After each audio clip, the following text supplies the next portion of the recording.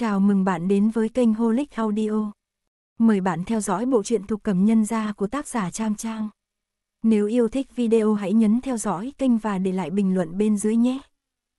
Chương 196 Nóc nhà trên núi không cao, chỉ khoảng 1.000 mét so với mực nước biển. Khi lên tới đỉnh núi vẫn chưa tới giờ mùi. Vào đầu mùa hè, ánh mặt trời nhẹ nhàng, gió núi khoan khoái thổi qua, từ xa có thể nhìn thấy các trang trại dưới chân núi, tâm trạng trở nên rộng mở và sáng sủa. Trên đỉnh núi có một khe rãnh, Quý Anh Anh nhìn theo ánh mắt của hộ vệ, quả nhiên thấy một lùm hoa lan mọc từ một tảng đá phía dưới. Đám hoa lan đó sinh ra vài cành màu xanh nhạt mảnh khảnh, hoa nửa khép nửa mở, bị gió thổi qua, tỏa ra mùi thơm mơ hồ. Từ miệng của nhị nãi nãi, Quý Anh Anh nghe được rằng Dương Tứ Lang tối hôm qua đã giả say xông vào sân nhỏ của đệ Tam Trọng. Quý Anh Anh liền vô cùng căm hận, những việc như vậy, Dương Tứ Lang đều có thể làm ra. Lập kế để đối phó với hắn, Quý Anh Anh không hề cảm thấy áp lực. Quý Anh Anh chỉ vào đám hoa lan, ngạc nhiên mừng rỡ kêu lên. Tứ Lang, ngươi nhìn, ở đó có đám hoa lan, nở thật đẹp. Dương Tứ Lang cúi đầu xuống, hai ngón tay đầu như vô tình kéo lấy ống tay áo của hắn. Nàng không thể kiềm lòng được, hay là vì xuất thân từ gia đình nhỏ nên không hiểu lễ nghi.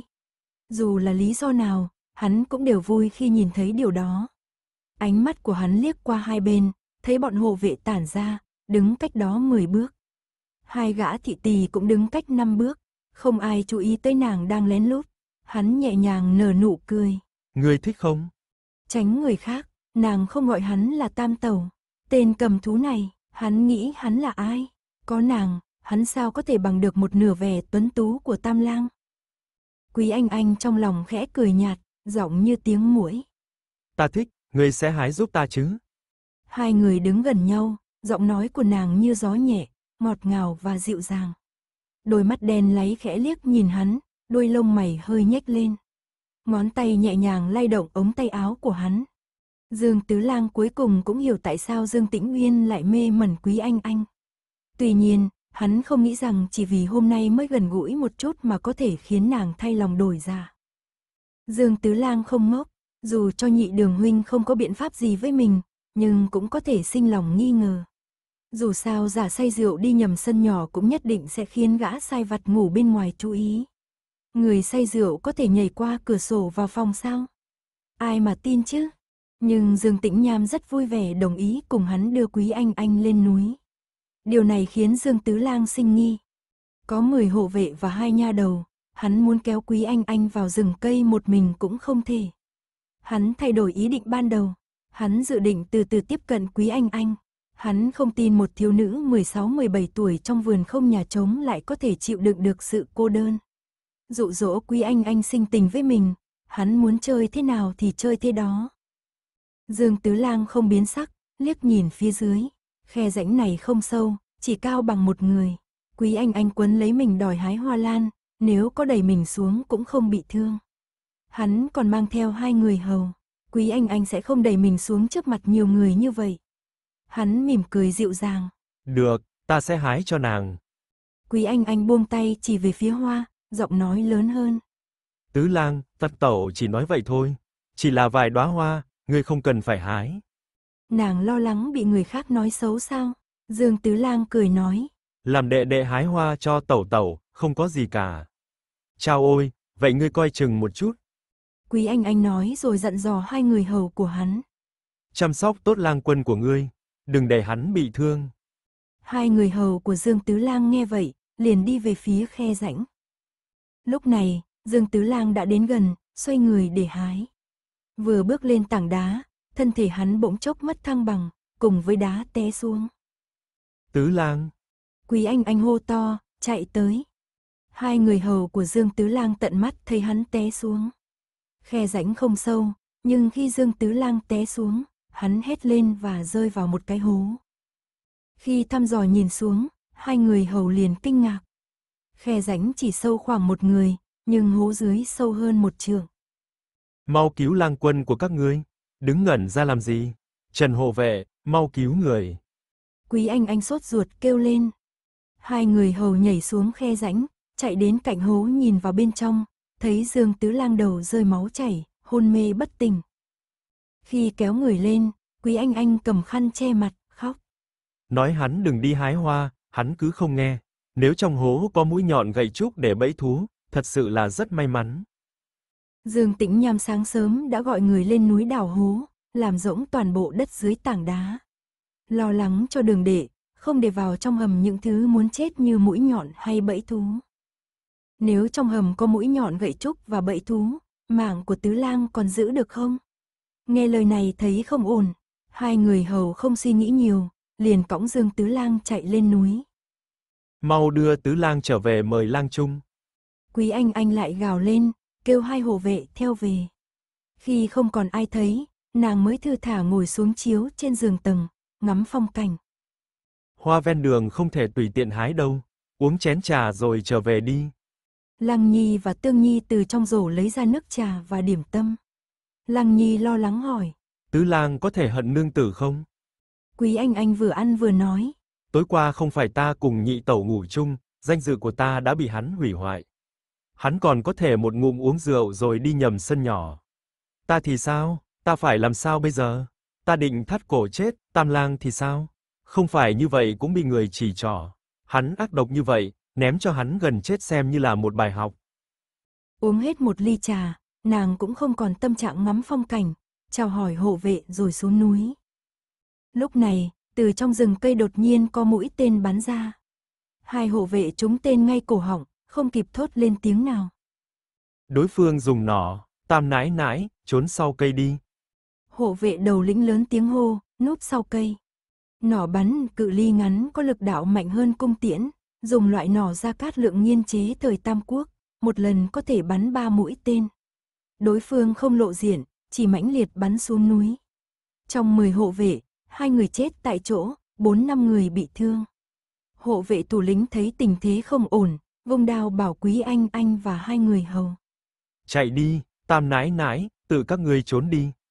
Đối phương không phải muốn bắt sống, mà là muốn giết. Có thể chạy thoát hay không tùy thuộc vào số mạng của các ngươi. Hộ vệ đại ca, các ngươi cẩn thận, bảo vệ tính mạng quan trọng hơn.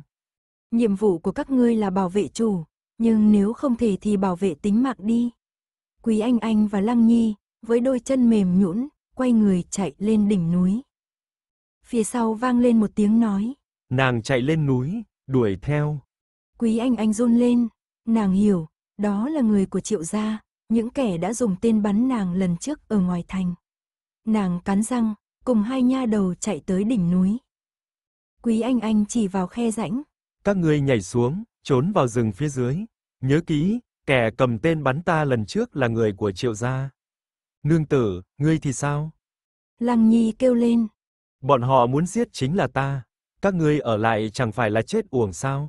Nếu có thể mang tin tức về, sau này Tam Lang còn có thể báo thù cho ta. Đi nhanh đi.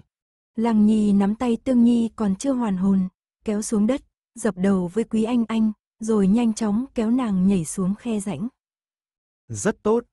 Thấy Lăng Nhi quyết đoán, Quý Anh Anh khen ngợi, xoay người đứng chờ bên cạnh khe rãnh. Chương 197. Dưới chân núi, một đoàn người mặc hắc y che mặt từ từ tiến tới. Người cầm đầu cầm theo đao, máu nhỏ giọt trên thân đao bạc. Khi thấy Quý Anh Anh, hắn cười lớn. Tam nái nái, ở đây không có cây lớn để ngươi trèo lên đâu. Lần trước ở quán trà ngoài thành ngươi may mắn thoát chết. Hôm nay xem ngươi chạy đi đâu. Vai sau của nàng vừa trúng tên, cảm giác đau đớn lại mơ hồ trỗi lên. Quý Anh Anh cười. Các ngươi nghĩ ta định chạy sao? Hộ vệ của ta đâu? Đều bị các ngươi giết rồi sao? Tên cầm đầu nhún vai. Ngươi nghĩ rằng hộ vệ của ngươi đều dũng cảm vậy sao? Khi biết chúng ta đuổi theo ngươi, họ đã tản đi như chim muông, ai chạy được thì chạy. Quý Anh Anh cười. Chết bớt đi cũng tốt, đỡ phải xuống âm tào địa phủ, bị phán vào vạc dầu hay 18 tầng địa ngục. Người ta cũng muốn tự mình tích phúc. Tên cầm đầu nhổ một bãi nước bọt. Hừ, ta giết người như giết gà, còn sợ phán quan sao? Quý Anh Anh lùi một bước, đứng cạnh cống. Triệu gia rốt cuộc muốn gì? Tại sao nhất định phải giết ta? Dương Tĩnh Uyên không nói rõ người tập kích nàng hôm đó là hộ vệ của Ngưu Ngũ Nương, chỉ nói Triệu gia là chủ mưu. Quý Anh Anh đương nhiên nghĩ rằng đám người trước mặt là do Triệu Tu Duyên phái đến. Oán chỉ oán ngươi đến Dương gia. Dương Tam nãi nãi, sang năm ngày này sẽ là dỗ của ngươi. Tên cầm đầu dơ cao đao, tiến về phía Quý Anh Anh. Quý Anh Anh quay người nhảy xuống khe, hét lớn. Ngươi mơ à? Tên cầm đầu sững sờ, vội vàng bước nhanh đến cạnh cống. Lúc này, bên tai vang lên tiếng gió, đôi mắt hắn bỗng nhiên mở to, khi nhận ra thì mũi tên sáng như tuyết đã đến trước mặt. Sau tiếng kêu thảm thiết của tên cầm đầu, từ trong rừng cây bắn ra một trận mưa tên dày đặc. Có mai phục. Người phía sau tên cầm đầu hô to, vùng đao chém vào những mũi tên bay tới. Sau một trận mưa tên, từ trước và sau dốc những người mai phục dần dần hiện thân. Hộ vệ từ trong rừng cây dưới chân cống chạy nhanh về phía đỉnh núi. Có người đỡ Quý Anh Anh lên. Tam nãi nãi có bị thương không? Ta không sao. Quý Anh Anh phủi bùn đất trên người, nhảy xuống núi nhỏ cống như vậy, nàng chỉ bị đau chân. Nàng quay đầu lại, thấy Dương Tĩnh Nham dẫn theo hộ vệ Dương gia lên đỉnh núi. Nàng cười và vẫy tay. Nhị ca, đệ muội không bị thương chứ? Dương Tĩnh Nham cũng nở nụ cười. Nương tử. Quý Anh Anh vừa định trả lời thì Lăng Nhi và Tương Nhi khóc chạy đến, kéo nàng kiểm tra từ trên xuống dưới. Nương tử thật là, lừa gạt bọn nô tỳ cực khổ. Nói cho các ngươi biết, làm sao lừa được Dương Tứ Lang. Quý Anh Anh cười nói. Ta đây không phải là không sao sao, cái cống này không sâu mà.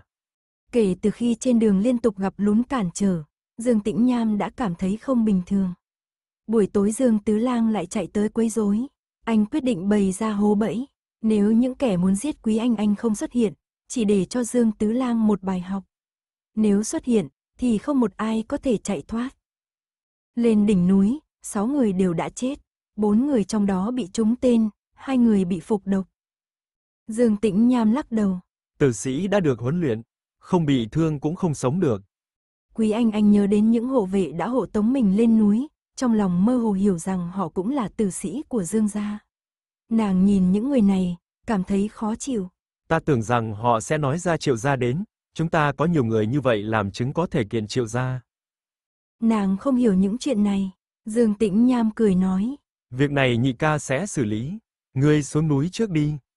Dương nhị lão gia đợi tin tức hai ngày, không chỉ đợi được tin Dương Tĩnh Nham cùng vợ chồng Quý Anh Anh bình an trở về thành, còn đợi được tin Dương Tứ Lang vô tình ngã vào hố sâu, không thể cử động và bị đưa về phủ.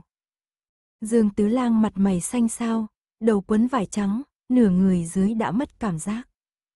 Châu Thị ngất xỉu ngay tại chỗ. Tứ Lang, sao ngươi lại không cẩn thận như vậy, đi hái hoa gì chứ? Dương nhị lão gia nắm tay con trai, nhớ tới lời của lang trung, lòng đau như cắt. Người hầu làm chứng, nói tứ lang khăng khăng muốn đi hái hoa bên cạnh cống, quý anh anh cản cũng không được. Dương nhị lão gia hận quý anh anh đến chết, lại tức giận vì con trai không chịu thua kém. Quý nhị nương hại ta, nhị lang hại ta, mọi thứ đều buông. Dương tứ lang dãy rủa, hơi thở mong manh nói. Dương nhị lão gia bỗng nhớ tới lời Dương Tĩnh Uyên đã nói. Ta có hai người ca ca, các huynh trưởng đều có con trai trưởng. Nhị phòng chỉ có hai đứa con trai, lục lang mới 11. Ngài nghĩ kỹ. Là đại phòng làm, chắc chắn là. Con thứ hai còn nhỏ, người hắn có thể trông cậy vào chính là tứ lang. Dương nhị lão ra mắt đỏ ngầu, phủi đất đứng lên. Cha nhất định sẽ lấy lại công bằng cho ngươi. Hắn đầy sát khí dẫn người làm thẳng đến bạch lộ đường. Bạch lộ đường phủ đầy đồ trắng. Người trong đại phòng đều mặc đồ tang trắng, ngồi rất chỉnh tề. Dương nhị lão ra đầy khí huyết, làm như không thấy. Hắn dẫn người xông vào bạch lộ đường, thấy quý anh anh ngồi trong sảnh, nghiêm nghị kêu lên. Đem tiện nhân này lôi ra đánh chết cho ta. Bằng. Một tiếng, Dương Thạch Thị ngồi ở thượng thủ giơ tay ném hộp rượu qua. Hộp rượu đánh vào người Dương nhị lão ra, rội rượu khắp người hắn, rồi rơi vỡ. Nhị lão ra thật uy phong, bắt nạt đại ca ngươi đi, ném ta xuống môn cô nhi quả mẫu dễ khi dễ phải không? Gọi người đánh chết con dâu ta, lão thân còn chưa chết đâu. Dương Thạch Thị giận dữ hét lên. Không đợi Dương Thạch Thị nói thêm, một đám hộ vệ Dương gia xông tới, kéo Dương nhị lão ra và người làm ra ngoài. Dương Thạch Thị. Dương nhị lão gia nổi giận. Nàng không chịu giữ nữ tắc, câu dẫn tứ lang nhà ta, làm hại tứ lang bị liệt, đánh chết tiện nhân kia mới hả lòng ta. Dương Thạch Thị cười lớn. Dương Tuấn Anh, ngươi không ngửi thấy mùi gì trên người mình sao? Rượu đỏ thẫm rội lên áo sam của Dương nhị lão gia, như nhuộm máu tươi. Mùi rượu nồng nặc tràn ngập khắp sảnh. Dương nhị lão gia sững sờ, đột nhiên nhận ra đây là rượu thần tiên mình đưa cho đại ca. Trong lòng hắn trột dạ, cố tự chấn tĩnh nói. Rồi rượu lên ta, là tẩu tử gây ra sao? Ngươi nhìn xem, nhìn xem cả sảnh đường này đầy đồ trắng. Lão gia trên trời nhìn ngươi đấy. Dương Thạch Thị đứng lên. Ta đến Dương gia, ngươi mới mấy tuổi, đều nói trường tẩu như mẹ. Ngươi và lão tam ai mà không mặc đồ do đại tẩu làm. Các ngươi lấy vợ thành thân, đều do đại tẩu một tay lo liệu. Ngươi đối xử với đại ca như vậy sao? Đại ca mê rượu, chúng ta đều uống, sao không có việc gì? Dương nhị lão ra cứng cổ kêu lên, quên mất rằng mình đến để đòi công bằng cho con trai. Đúng, là đại ca ngươi mê rượu, nên chuyện này ngươi biết, ta biết, tất cả mọi người lòng dạ đều biết rõ, không thể nói ngươi nhị lão ra sai. Dương Thạch Thị chỉ hắn nói. Ngươi tự hỏi lòng mình, ban đêm không gặp ác mộng sao? Ngươi ngủ có an giấc không? Ngươi có mơ thấy đại ca ngươi không? Dương nhị lão ra mặt mày trắng bệch, ngẩng đầu nhìn lên bàn thờ linh vị của đại lão gia, sắc trắng như muốn nhấn chìm hắn. Hắn hét lớn. Ngươi nói bậy. Cảm ơn bạn đã ghé thăm kênh Holic Audio. Chương 198. Đúng vậy, bởi vì lão gia mê rượu, nên không có chứng cớ. Dương Thạch Thị như tự giễu cợt, hoặc như đang cảm thán. Nàng đỡ tay Trần Ma Ma, hướng về linh vị của Dương Đại Lão gia mà nói. Lão gia, ngài tự làm tự chịu, xin tha thứ cho thiếp không có cách nào đòi công đạo cho ngài. Đột nhiên, âm thanh cao vút làm Dương Nhị Lão gia giật mình. Hắn phất tay áo nói. Không biết gì cả, ta nói cho ngươi biết, chuyện của tứ lang nhà ta không xong rồi. Lão nhị định ra ngoài sao? Có phải muốn nhìn xem trong sân người người đều biết chuyện này không? Sau lưng vang lên giọng nói ung dung của Dương Thạch Thị, khiến Dương Nhị Lão gia lúc này mới nhìn thấy mười mấy người đang quỳ trong sân. Hắn híp mắt nhìn, lòng run lên. Dương Tĩnh Sơn nhàn nhạt nói. Quản sự kho hàng sợ trách nhiệm nên bỏ chạy. Những người giao hàng nhàn dỗi này vẫn còn ở trong thành. Giao hàng gì, ta không biết Đại lang đang nói gì. Dương nhị lão ra nhìn Dương Tĩnh Sơn với ánh mắt âm hiểm. Ngoài đường vang lên giọng nói của người giao hàng nhàn rỗi. Ngày đó là mùng 10 tháng 3, quản sự của nhị phòng Dương gia tìm đến huynh đệ chúng tôi, bảo chúng tôi chuyển một nhóm gấm từ kho hàng nhỏ ở ngõ đông của Dương gia. Mồ hôi thấm ướt áo lót của Dương nhị lão gia. Triệu quản sự là quản sự của nhị phòng, người Dương gia đều biết. Cố ý không dùng công nhân trong phủ mà tìm người nhàn rỗi bên ngoài giúp. Không đợi những người này nói xong, Dương nhị lão gia hung dữ nói. Những người này dám trộm vận chuyển gấm của Dương gia, Đại lang, ngươi nên đưa bọn chúng đến nha môn của châu phủ. Dương Tĩnh Sơn vỗ tay một cái. Hai người làm mang triệu quản sự bị trói chặt như cây bánh cuốn vào, hắn gọi to. Nhị lão gia, tiểu nhân không thể không nhận. Ngươi đúng là đồ phản chủ. Dương nhị lão gia tiến lên đá hắn một cước ngã xuống, măng lớn. Hãm hại chủ nhân như ngươi đánh chết cũng được. Hắn quay đầu lại khinh miệt nói. Chỉ với lời nói bị ổi này mà định vu oan cho ta. Quá coi thường ta rồi. Dương nhị lão gia đánh chết cũng không nhận, nhấc chân muốn chạy đi. Đứng lại. Dương Thạch Thị cao giọng gọi hắn.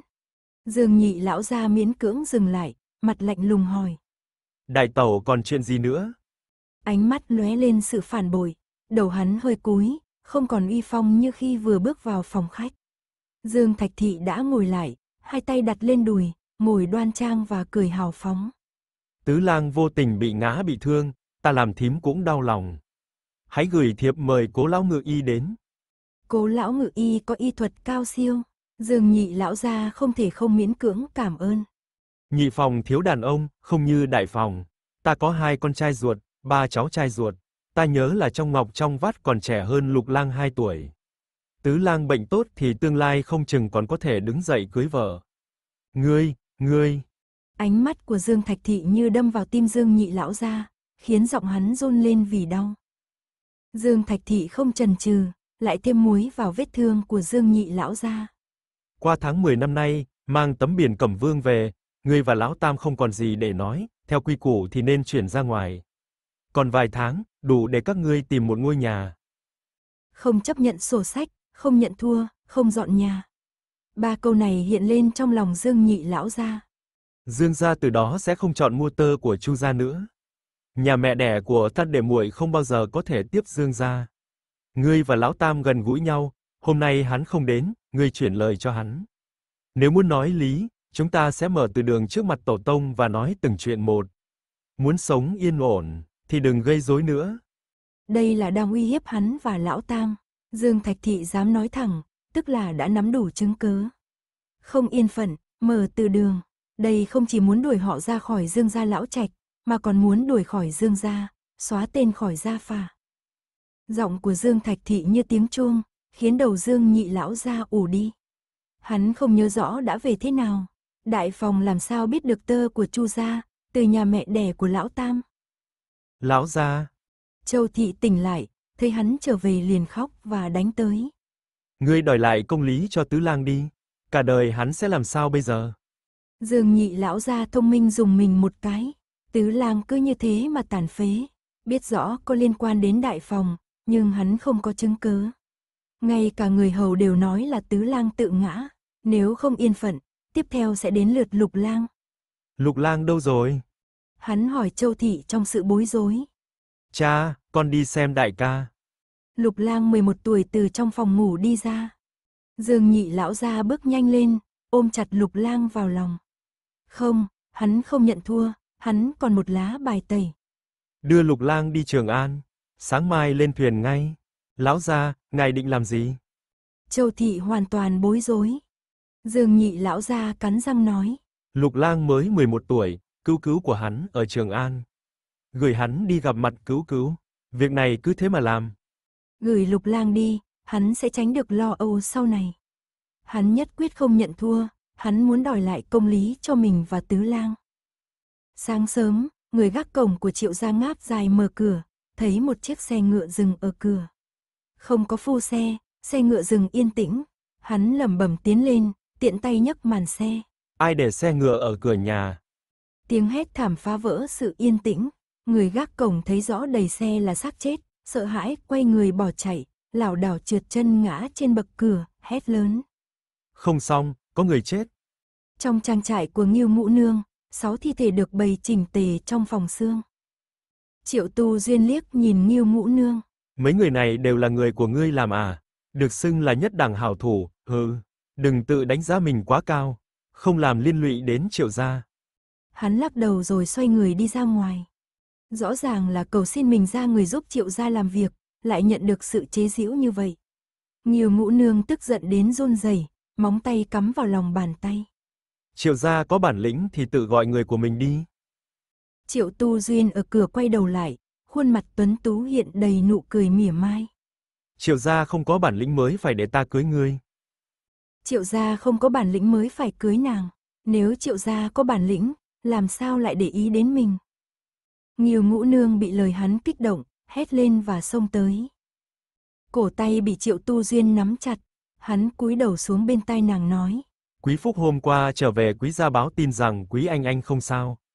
Tổ phụ bảo ngươi giết Dương Tĩnh Nham, người của ngươi lại đi giết nàng. Nghiêu ngũ nương, ngươi quên lời ta nói, ta có thể nhắc lại cho ngươi. Ta muốn quý anh anh sống sót, nàng là của ta, không đến lượt ngươi giết nàng. Ta muốn giết ngươi. Nghiêu ngũ nương dùng sức kéo tay mình, hận không thể giết triệu tu duyên. Triệu tu duyên rời mắt, liếc nhìn bụng nàng. Nóng lòng gì chứ, dù gì cũng phải đợi ngươi mang thai con trai rồi mới ra tay phải không? Ngươi mang tội giết chồng, còn cơ hội đối phó Dương Tĩnh Nguyên sao? Hắn đẩy Nghiêu Ngũ Nương ra, cười lớn rồi nghênh ngang rời đi. Nghiêu Ngũ Nương hận đến điên cuồng, nàng dựa vào khung cửa, nhắm mắt lại. Ta muốn phá hủy các ngươi. Chương 199. Đại phòng không thừa nhận công khai, nhưng cũng không ngại để nhị lão gia nghi ngờ rằng Tứ Lang bị hại là do đại phòng gây ra. Hơn nữa, vì đại phòng nắm giữ bằng chứng trong bóng tối, nên nhị phòng và tam phòng của Dương gia đều im lặng. Suốt hơn một tháng, cả nhị lão gia và tam lão gia đều không đến bạch lộ đường. Nghe tin nhị lão gia đưa lục lang đến nhà cữu cữu, tam lão gia bán dần các cửa hàng trong thành, Thạch Thị chỉ cười. Đầu tháng 6, Dương Tĩnh Sơn đã có thể ngồi trên xe lăn và nhờ người đẩy mình đi dạo khắp nơi. Cố lão ngự y nói rằng đến cuối năm, hắn có thể đi lại được. Đây là tin vui lớn đối với đại phòng. Đại ca, Quý Anh Anh mang theo thiền tử và Lăng Nhi vào thư phòng của Dương Tĩnh Sơn. đệ muội đến rồi, mau ngồi. Dương Tĩnh Sơn bảo gã sai vặt đẩy mình đến trước bàn. Trên bàn lớn trải dài một mảnh vải tuyết trắng như ở cửa tiệm của nhà họ Quý. Khi Quý Anh Anh ngồi vào chỗ của mình trước bàn, Dương Tĩnh Uyên liền ra lệnh cho gã sai vặt. Mọi người ra ngoài hết đi. Quý Anh Anh nhẹ gật đầu với thiền tử và Lăng Nhi, hai tỷ nữ cũng lui ra canh cửa. Nàng tự mở hòm, lấy ra vài túi vải đặt lên bàn. Những mảnh dây mực phác họa được trải ra trên bàn, dùng thước ngọc thạch chặn bốn góc. Quý Anh Anh mở túi vải, từ từ đặt từng sợi tơ lên bản vẽ. Hàng trăm loại màu tơ từ đỏ, vàng, xanh, tím, đen, trắng phủ kín bản vẽ. Sự rực rỡ ngũ sắc khiến Dương Tĩnh Sơn tưởng tượng ra một bức tranh mùa thu tuyệt đẹp. Hắn ngạc nhiên và khen ngợi. Dương gia đan công chỉ có thể pha hơn 60 loại màu. Đệ muội có thể chọn ra gấp đôi màu sắc như vậy. Bức gấm này chắc chắn sẽ rất đẹp. Năm nay đoạt lại Cẩm Vương, công lao của đệ muội không thể thiếu. Quý Anh Anh cười và lắc đầu. Không, đại ca, ta muốn xin ngươi thay đổi ý định ban đầu, không đan bức tranh mùa thu này nữa. Dương Tĩnh Sơn ngạc nhiên hỏi. Tại sao? Quý Anh Anh im lặng, mở một bao bố khác, lấy ra vài búi tơ cho hắn xem. Đại ca xem mấy sợi tơ này. Tơ là loại tàm ti thượng hạng, sờ vào mịn màng như nước. Khi nhìn kỹ, Dương Tĩnh Sơn phát hiện màu sắc không đồng nhất. Sợi tơ này màu sắc đậm nhạt không đều, bị nhuộm hư rồi. Sau khi nói ra, hắn lại lắc đầu. Nếu sợi tơ bị nhuộm xấu, Quý Anh Anh sẽ không đưa cho hắn xem. Nhưng sợi tơ thượng đẳng, màu nhuộm thấm đều từng sợi tơ mỏng, sau khi rửa sạch sẽ càng rực rỡ, màu sắc đồng nhất. Đỏ thẫm là đỏ thẫm, không lẫn hồng hay phấn hồng. Đen là đen nhánh, không như tóc phụ nữ lẫn bạc. Để giúp Dương Tĩnh Sơn dễ đi lại, Quý Anh Anh vòng qua bên cạnh hắn. Trên bàn rộng bày một bát nước sứ trắng để rửa bút. Quý Anh Anh lấy bút lông từ giá bút, nhúng mực và dừng trên bát nước. Một giọt mực nhỏ xuống, lan ra như mây. Nàng tiếp tục dùng bút khác, chấm đủ loại màu vào nước. Cuối cùng, nàng gõ nhẹ bút vào thành bát. Bát nước phản chiếu ánh sáng nhẹ, các màu thuốc hòa quyện trong nước, tạo ra những gợn sóng nhẹ nhàng. Đại ca, lần trước khi thờ cúng tầm hoa nương nương, thiếp đã lấy một ít sinh kén để nhuộm.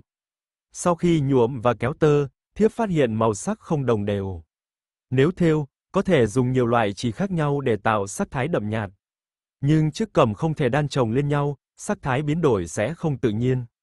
Vì vậy, gấm tứ xuyên thường có hoa văn với sắc thái độc lập. Nếu sợi tơ có màu sắc không đồng nhất, gấm sẽ như bát nước này, màu sắc tự nhiên giao thoa. Quý Anh Anh nói và lấy ra một túi vải khác, bên trong là mười mấy búi tơ. Những sợi tơ này được nhuộm bằng phương pháp in nhuộm, từ đậm đến nhạt không đồng đều. Ngài xem thử. Dương Tĩnh Sơn nhìn Quý Anh Anh, hai gò má nàng ửng đỏ vì phấn khích, nổi bật trên làn da trắng nõn. Hắn bỗng nhớ đến cảnh rửa tơ trong nước, liền thốt lên. Bối gấm phỉ thành, trạc sắc giang sóng. Đấu gấm không chỉ là đấu về đồ án mà còn về kỹ thuật đan. Nhiều người có thể vẽ đẹp, nhưng không phải ai cũng có thể đan thành. Kỹ thuật đan của chức cầm là cố định, để đan hàng ngàn sợi tơ thành đồ án, cần có tài năng và kỹ thuật tinh xảo. Từ trước đến nay, sợi tơ có màu không đều được xem là tơ hỏng. Nhưng nếu biết tận dụng, phối hợp màu sắc hợp lý, có thể đan thành loại gấm mới. Sự tinh tế và sắc thái biến hóa đa dạng sẽ tạo nên sự khác biệt. Dương Tĩnh Sơn hứng khởi cầm lấy những sợi tơ, lớn tiếng nói. Loại gấm này có thể thành công, gọi là hoán hoa cẩm. Dương gia ta có thể thêm một loại gấm mới. Hoán hoa cẩm, tên này nghe thật đẹp. Quý Anh Anh cười vui vẻ. Một phần vì ta nghĩ đến cảnh rửa tơ ở hoán hoa khê, phần nữa vì đệ muội từ nhỏ sống bên hoán hoa khê.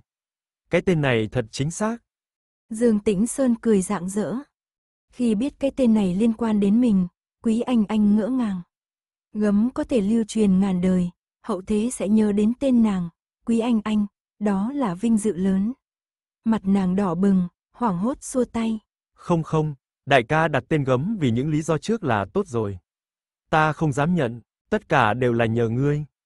Tiếng nói mơ hồ từ thư phòng truyền ra ngoài. Khi Dương Đại nãi nãi mang trà bánh đến, nàng dừng bước, lòng dâng trào cảm xúc. Trượng phu đan gấm mới, lại lấy tên vì quý anh anh. Đại lang quân, tam nãi nãi, đại nãi nãi mang trà bánh đến. Thiền tử nhẹ giọng báo ngoài cửa. Tiếng nói trong phòng ngừng lại, Dương Đại nãi nãi cùng nha đầu bước vào. Trên bàn bày đầy các loại sợi tơ, Dương Tĩnh Sơn và Quý Anh Anh ngồi ở hai đầu bàn. Ta đã nói không cần trà bánh mà, sao ngươi lại mang tới? Dương Tĩnh Sơn trách, gương mặt hắn vẫn chưa hết vẻ hưng phấn. Dương Đại nãi nãi nghĩ rằng mỗi khi Quý Anh Anh đến, hắn liền vội vàng đến thư phòng, ngồi đó cả ngày. Về phòng lại thẫn thờ, không muốn nói chuyện, khiến nàng không thoải mái. Có phải không cần trà bánh, hay là không muốn mình quấy rầy hắn và Quý Anh Anh? Chỉ là một chút việc phối màu, tại sao phải để mọi người lui ra ngoài? Ngươi không ăn, nhưng đệ muội cũng cần ăn chứ. Dương Đại nãi nãi cười đáp, bảo nha đầu mang điểm tâm ra. Cảm ơn đại tẩu. Quý Anh Anh nhận chén canh hạt sen nấm tuyết, ăn từng ngụm nhỏ. Nấm tuyết trơn, hạt sen mềm mịn, nàng ăn ngon miệng. Nhìn nàng ăn ngon, mắt híp lại như mèo con phơi nắng, Dương Tĩnh Sơn cười. Đệ muội thích ăn, sau này đệ muội đến, nhớ làm nhiều một chút. Ánh mắt ấm áp khiến Dương Đại nãi nãi nhớ lại khi mới gả vào Dương gia. Nàng làm cho hắn, hắn không cần. Quý anh anh thích ăn, hắn lại dặn đừng quên làm. Nàng khẽ đáp, không muốn ở lại. Vậy các ngươi cứ từ từ trò chuyện, ta không quấy rầy nữa. Đại tẩu đi thong thả. Quý anh anh vội đặt chén xuống, đứng dậy tiễn Trần Thị ra cửa. Khi đến cửa, Dương Đại nãi nãi dừng lại, ôn tồn nói. Mẫu thân cưới ngươi vào cửa thật là đúng. Có ngươi giúp, năm nay nhà chúng ta chắc chắn sẽ đoạt lại cẩm vương. Để muội cực khổ vài ngày nữa, đợi đến khi phối màu mở đan sẽ dễ dàng hơn. Đại nãi nãi nói khiến nàng không thoải mái. Cưới nàng vào cửa là vì tam lang. Dù không gả, nàng vẫn có thể giúp Dương gia trong việc đan gấm. Ân. Quý Anh Anh vẫn gật đầu cười. chương 200. Dương gia gõ chiêng chống nhộn nhịp chuẩn bị cho tháng 10 đấu gấm. Liên tục dò la tin tức từ các nhà khác. Để tham gia đấu gấm cần có dòng dõi cao quý. Ở Ích Thô Phủ, những gia đình có tư cách đứng vào top 10 đan hộ đều đã được biết. Chỉ trong 3-4 tháng, hầu hết các nhà đã đan ra các loại gấm khác nhau. Việc đến thăm dò các nhà khác cũng trở nên phổ biến. Sau bữa cơm chiều, Dương Thạch Thị giữ mọi người lại. Năm nay chúng ta đã bắt đầu đan gấm. Tình hình của mỗi gia đình không khác nhau nhiều. Họ đã đan ra gấm từ sớm. Chỉ riêng triệu gia vẫn chưa có động tĩnh gì. Tin tức này khiến mọi người trong Dương gia kinh ngạc. Dương Tĩnh Sơn hỏi. Có phải triệu gia đề phòng kỹ càng nên không ai biết được? Dương Thạch Thị bình thản nói. Trừ khi lão thái gia triệu gia không chọn gấm nữa. Dương Tĩnh Sơn thắc mắc. Đây cũng là chuyện lạ. Không còn 4 tháng, chẳng lẽ triệu gia không lo lắng? Các nơi trong triệu gia đều chuẩn bị chức cầm để tặng cho lão gia triệu xem qua. Quý anh anh ngồi yên lặng suy nghĩ, biết người biết ta, trăm trận trăm thắng. Dương gia năm nay đàn đấu gấm với tên hoán hoa cầm đã truyền ra ngoài. Loại gấm này như thế nào, chỉ có Dương Thạch Thị, Dương Đại Lang và mình Quý Anh Anh biết rõ. Theo lời của phu nhân, Dương gia có người đang theo dõi lão thái gia Triệu tại Tùng Phong Huyền. Dương gia tuy không biết cuối cùng Triệu gia chọn loại gấm nào, nhưng nhất định biết rõ Triệu gia có đang bận rộn vì đan đấu gấm hay không. Triệu gia không có động tĩnh, đúng là chuyện lạ. Đệ muội à. Dương đại nãi nãi ngồi bên cạnh Quý Anh Anh gọi nàng. Ừ. Quý Anh Anh tỉnh lại, thấy Trần Thị cười với mình, nàng vội hỏi. Đại tẩu gọi ta. Dương đại nãi nãi cười nói. Triệu gia năm ngoái đan ra cẩm vương lâm giang tiên, chẳng phải triệu nhị lang và đệ muội là thanh mai trúc mã sao? Đệ muội rõ về triệu nhị lang như lòng bàn tay. Đệ muội ít nhất cũng có thể đoán được 7-8 phần tài nghệ của hắn. Bất kể triệu gia đang có kế hoạch gì, chỉ cần đấu gấm của họ thua kém dương gia là được. Cái gì gọi là thanh mai trúc mã mà rõ như lòng bàn tay? Quý anh anh nhíu mày. Đại tẩu, ta không hiểu trước cẩm. Dương đại nãi nãi hơi cứng người lại, cười gượng. Đệ muội đúng là, Rõ ràng năm nay đấu gấm là do ngươi cùng lang quân thương lượng định ra, sao lại nói không hiểu. Nói cho đại tẩu biết, triệu nhị lang thích loại gấm gì. Vì mặt mũi Dương Tĩnh Sơn, Quý Anh Anh không tỏ vẻ lạnh nhạt. Nghe vậy, nàng đứng dậy. Phu nhân. Dương Thạch Thị ngừng bàn bạc với hai con trai về việc đấu gấm của triệu gia. Thấy Quý Anh Anh đứng dậy, hơi ngạc nhiên. Ngươi nghĩ ra điều gì? Dương Đại nãi nãi cũng hỏi. Đúng vậy, về chức cầm của triệu gia, đệ muội nghĩ gì? Lúc nãy nàng hỏi không phải về chức cầm của triệu gia, mà là về chức cầm của triệu tu duyên. Quý Anh Anh không tiện nhắc đến triệu nhị lang, buồn bực nói. Phu nhân, ta không hiểu chức cẩm, ta có chút không thoải mái, muốn trở về Minh Nguyệt cư sớm. Ngươi không thoải mái ở đâu? Có cần gọi lang trung đến không? Dương Thạch Thị ân cần hỏi. Quý Anh Anh vội tìm cớ.